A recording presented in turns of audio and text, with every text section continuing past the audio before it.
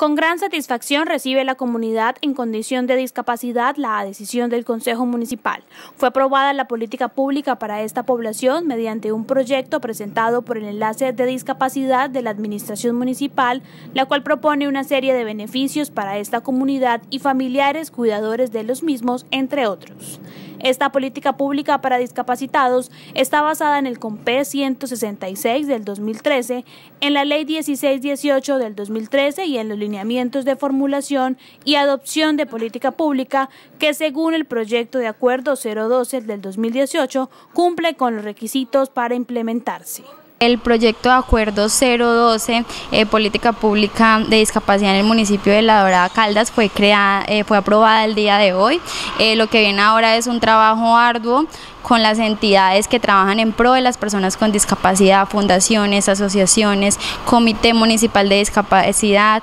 Administración Municipal, Gobernación de Caldas y el apoyo que tenemos de la Fundación de CEDER, que es quienes nos han colaborado a través de del departamento. Unidad de Atención Integral, Enlace de Discapacitados, FANDIS, Asodido, Confandi y Bienestar Social, entre otras, son las instituciones que se van a ver beneficiadas con la nueva decisión,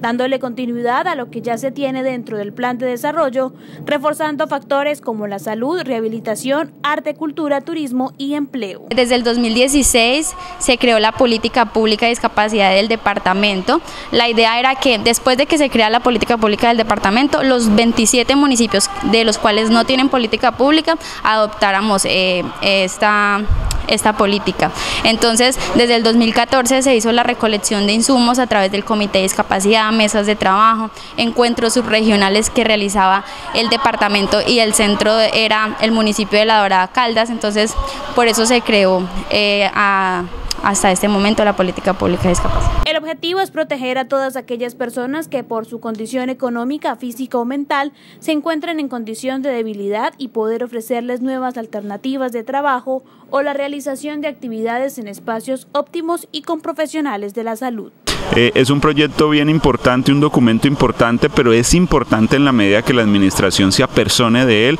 y pueda articularse con el departamento y la nación y presentar proyectos donde podamos eh, tener en cuenta a estas personas, de, tengamos en cuenta la situación de ellas, de que tienen problemas de, de, movilidad, los andenes son irregulares, de que eh, hay problemas en que si ellos necesitan un servicio de taxi o el vehículo no está acondicionado para poder cargar la silla de ruedas o en muchas partes no hay la voluntad del conductor y simplemente le dice estoy ocupado y estas personas no son, son discriminados. En los colegios también son discriminados porque porque estos niños eh, no se les hace la atención o el profesor de pronto no está adiestrado o capacitado para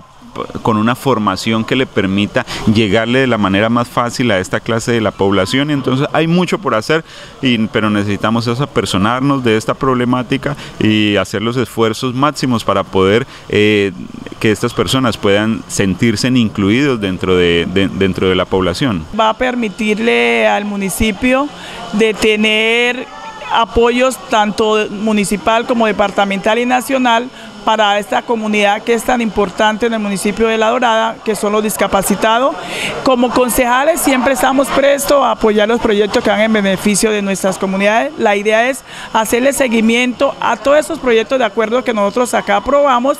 porque nosotros aprobamos y a veces no hacemos seguimiento y se queda solamente en un papel. También queremos agradecerle pues al señor alcalde que a buena hora eh, envió este proyecto de acuerdo acá al, municipio, al Consejo Municipal la Política Pública de Discapacidad. Es un proyecto que va siempre pensando en el beneficio de las comunidades.